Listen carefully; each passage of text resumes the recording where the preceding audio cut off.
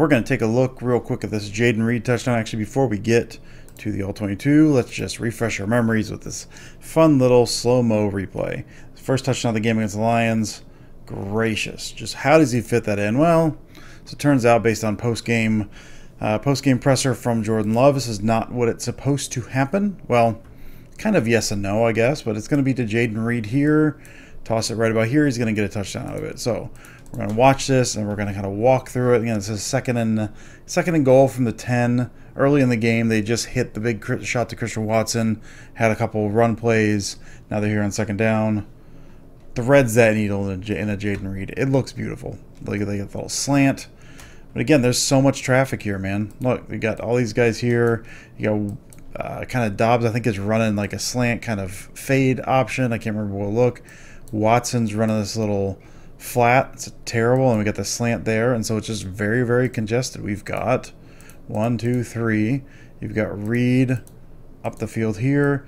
You've got Watson going out there. Now, according to Love post game, this is not what was supposed to happen. This was supposed to be slants. Uh, and I think what Love, I think what, uh, so we'll start out outside. We'll go, we'll work outside in. We've got Doubs. I think is working this little like fade in. This is an alert. This is if, if everything works well, if he likes that matchup, go ahead and take that to Doubs. Reed is going to be running a slant right there and Watson is supposed to be running a slant. Uh, instead, this is where things get a little tricky. We'll leave this up just as is, uh, and I'll kind of, we'll do this because this is what he actually does end up running, this little flat route. But we'll pretend he runs the slant. So what you're supposed to do, what Love is looking at, is he's reading, he's going inside out, but he's looking at the defenders. He's not looking at uh, the actual, the, the receivers themselves. So you've got this guy here, right? And you've got this guy there. You got one and two.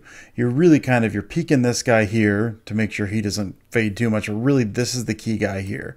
You're reading that dude right there. Because if he stays if he runs inside with the slant, if he if he's following on Watson off that vertical stem, that means you've got a space to throw this ball in there to Reed. You've got outside leverage there. Uh, Reed's got Reed's inside right there, so you push inside.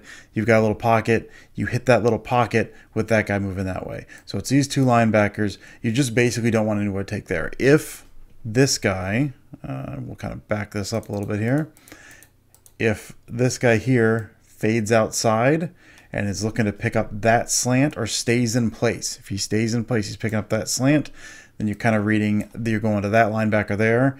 You're reading, you're going to try to hit that slant to Watson. If not, you're probably going outside there. But if this guy's moving in, you've got a window, you're hitting Reed.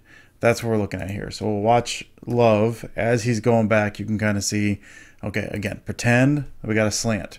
We got Watson pushing up. In this world, he runs a slant. We have got linebacker turned in, linebacker turned in. You've got Reed with his nice little outside step before coming in to kind of make sure he's got that inside leverage. Push out, go back in. He's got this guy in his heels, which means he's pushing back. He's going to be on the outside, which means, again, you've got this perfect little window to hit Jayden Reed. He's getting ready to hit that his back step. I think this step here is going to hit and then he's going to fire. I think this is going to be the top of his drop right here. Hit that step and fire. Now again, what complicates this is going to be Reed or Watson, sorry, going out that way. Now the read is correct. He's looking at it correctly because you are reading these two linebackers right here. And where they are, you've got a window. When Watson then fades out, right there, balls away. Balls, we'll look over the balls away. Bang, bang, bang. Set, throwing. Even when he's set to throw, see that back foot is hit He's ready to throw. He's ready to go. Jayden Reed's got the inside there. Those two guys are down. Watson still is on that vertical stem, right? He's pushing vertical. At this point, he has not really determined which way he's going to go, but you've got perfect. Throw it right there. So when Watson then drags those guys back into that window, it makes it tougher than it should be, but the spacing works out. Love fires that suckers in. Jayden Reed ends up with a touchdown.